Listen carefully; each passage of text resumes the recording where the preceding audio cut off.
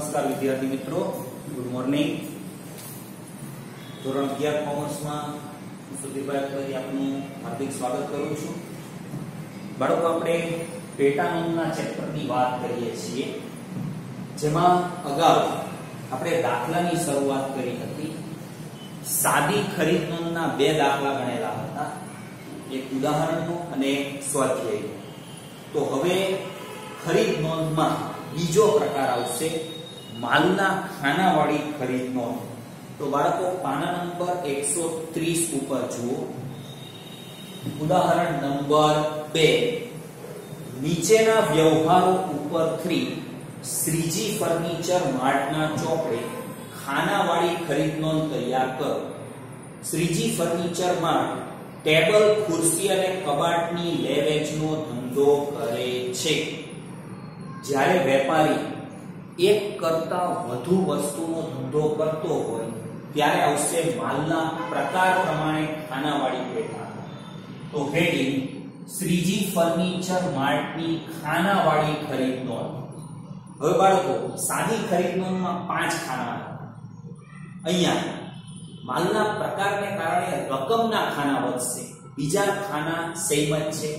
પહેલું ખાનું તારીખ પછી વિગતમાં વેપારીનું નામ ઉધારમાં ખરીદવામાં આવે તે વેપારી અથવા લેણદાર. આવક ભરતિયા નંબર ખાપા નંબર, રકમની અંદર એ જેટલી વસ્તુનો ધંધો કરે છે, એ વસ્તુ આવશે. ટેબલ, ખુરશી, કબાટ. પછી બધાનો સરવાળો કુલ રકમ, રૂપિયા. ચાલો, ધ્યાન આપજો દાખલામાં. 2015 એપ્રિલે શ્રી રામ ફર્નિચર માર્ટ પાસેથી દસ નંગ ટેબલ 1000 નંગ 15 નંગ ખુરશી 600 નંગ દીઠ અને 5 નંગ કબાટ 3000 નંગ દીઠના ભાવે ખરીદ્યા. સાતનો સમય એક માસ ભરતિયા નંબર 99 તો બાળકો, આ છે માલની ઉધાર ખરીદી. તો ચોક્કસ એની નોંધ થશે તારીખમાં પેલા વર્ષ 2015 પછી મહિનો એપ્રિલ, તારીખ એક. ચાલો, કોની પાસેથી ખરીદ્યા? તો શ્રી રામ ફર્નિચર માર્ટ ખાતે. હવે, બાળકો, અહીંયા ભરતિયા નંબર આપેલ છે 99 ખાપામાં તો કઈ ન આવે. વેપારી વટાવ નથી. ચાલો, હવે ગણતરી કઈ રીતે કરીશું? દસ નંગ ટેબલ 1000 નંગ દીઠ. તો ટેબલમાં 10 ગુણ્યા 1000 એટલે ટેબલની કુલ રકમ આવશે બાળકો 10000 15 નંગ ખુરશી 600 નંગ દીઠના ભાવે 15 ગુણ્યા 600 એટલે ખુરશી આવશે 9000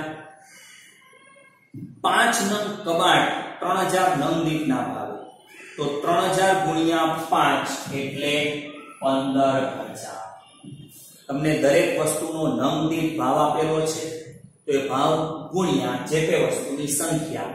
તો ટેબલના 10000 ખુરશીના 9000 કબાટના 15000 એ ત્રણેયનો ટોટલ અહીંયા લખવાનું છે 34000 ચાલો આગળ વધીએ.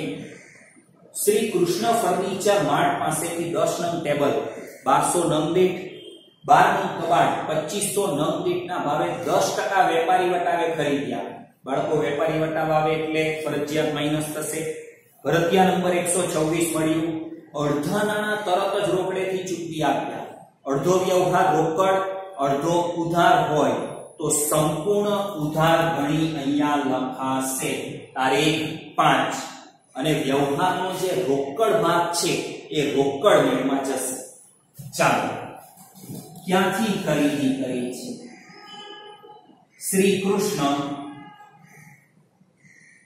ફર્નિચર માર્ટ ખાતે. ચાલો, ભરતિયા નંબર છે 126 હવે સમજો બાળકો. અહીંયા ટેબલ છે 10 નંગ. 1200 નંગ દીઠના ભાવે. તો ગણતરી કઈ રીતે થશે ટેબલમાં? 10 ગુણ્યા 1200 એટલે કુલ રકમ આવશે 12000 એમાંથી 10% વેપારી વટાવ 1200 ના 10% 12000 ના 10% એટલે 1200 એ બાદ કરતા ચોખ્ખી રકમ દસ હજાર આઠસો ટેબલના ખાના નંગ દીઠ ભાવ ગુણ્યા સંખ્યા કુલ રકમ એમાંથી દસ ટકા વેપારી વટાવ માઇનસ હવે કબાટ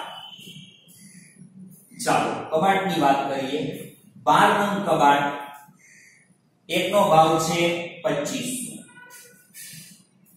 તો આનો ગુણાકાર થશે ત્રીસ હજાર. એમાંથી દસ ટકા વેપારી વટાવ. ત્રીસ હજાર ના દસ ટકા એટલે ત્રણ હજાર. એ માઇનસ કરતા સત્યાવીસ હજાર.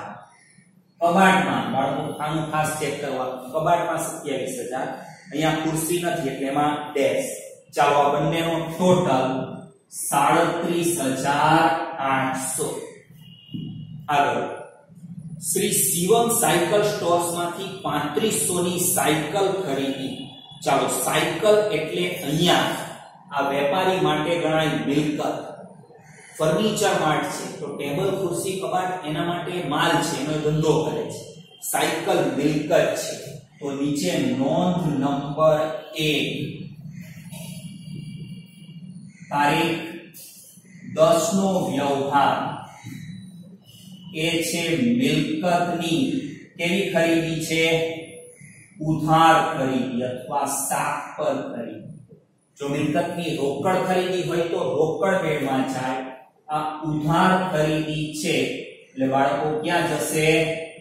ખાસ આમ નોંધમાં શ્રી રહીમ ફર્નિચર સ્ટોર્સમાંથી દસ હજારની ખુરશી દસ ટકા વેપારી વટાવે ખરીદી, પાંચ ટકા રોકડ વટાવે, તરત જ રકમ ચૂકવી આપી. તરત જ રકમ ચૂકવી આપી એટલે સંપૂર્ણ વ્યવહાર કેવો છે?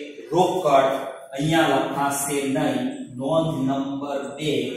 તારીખ વીસ નો વ્યવહાર.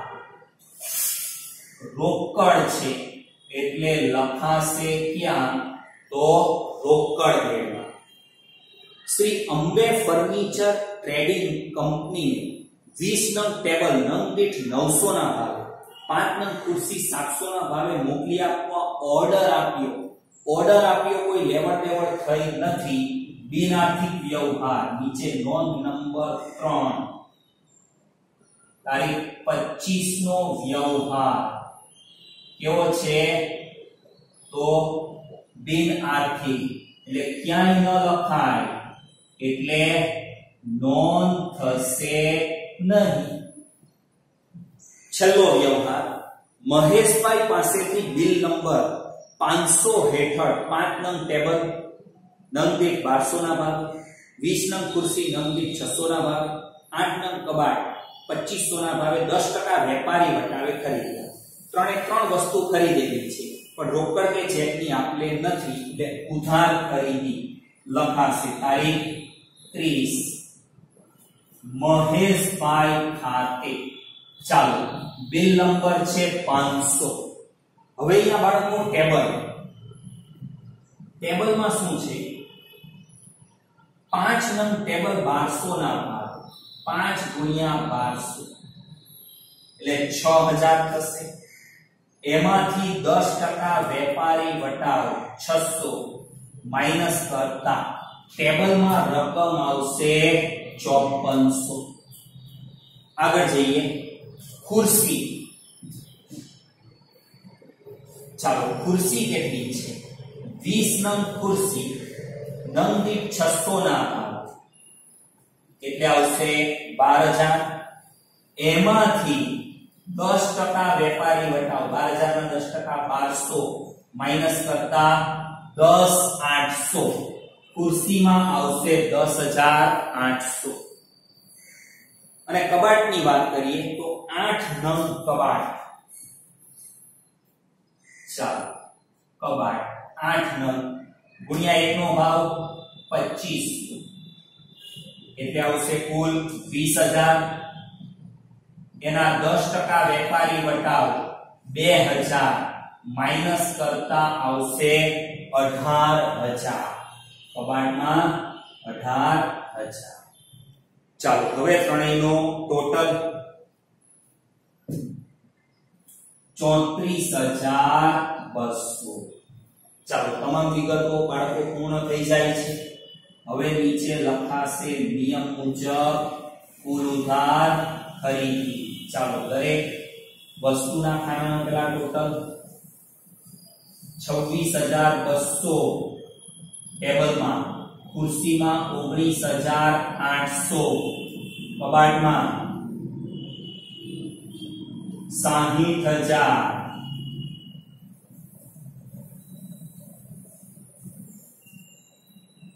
કુલ સરવાળો એક લાખ છ હજાર. એ ઊભો અને આડો બંને રીતે ટોટલ એક લાખ છ હજાર આવી જવો જોઈએ. તો આ છે બાળકો, માલના પ્રકાર પ્રમાણે ખાનાવાળી ખરીદ નોંધ એનો સરસ મજાનો ઉદાહરણનો દાખલો. હવે પછી આપણે આવો સ્વાધ્યાયનો દાખલો ગણીશું ગુડ બાય